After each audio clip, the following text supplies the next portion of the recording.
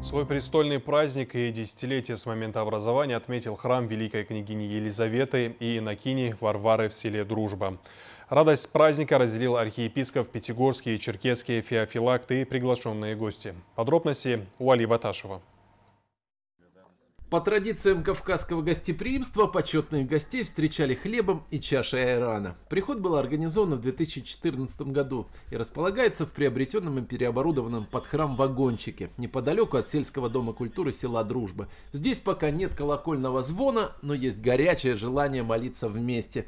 Ирина Лепетюхина и Надежда Мелкумова являются прихожанками церкви преподобной мученицы княгини Елизаветы и инокини Варвары с момента открытия родилась здесь в дружбе. Вот э, было, конечно, очень радостно, что к нам наконец-то повернулись и организовали приход у нас в дружбе. Ну, ходят пока не очень много людей, потому что многих смущает наш, наш храм маленький. Вот. А так батюшка приезжает, очень хороший батюшка у нас, мы очень рады. Всем хочется пожелать здоровья, благополучия. Вот кто сегодня вот смог в себе найти этот силы, это же как подвиг, можно сказать, прийти своими ножками. Вот по такой жаре не каждый же сможет.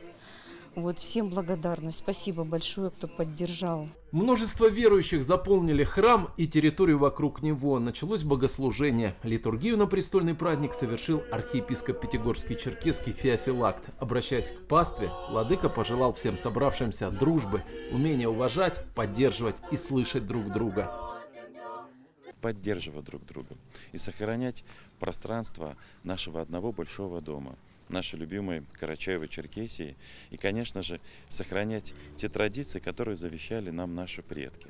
И сегодня, приехав сюда, я сюда ехал с особой надеждой помолиться вместе с общиной, ну и, конечно, поздравить особым образом с десятилетием начала здесь э, приходской жизни, которая теперь уже, слава Богу, имеет свои добрые плоды.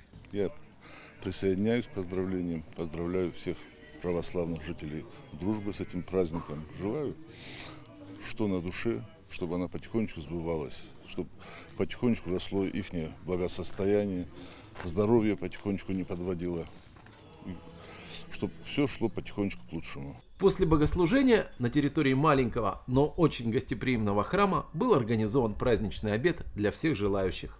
Али Баташев, Ольга Савенко, Миха Каракелян, Вести Карачаева-Черкесия.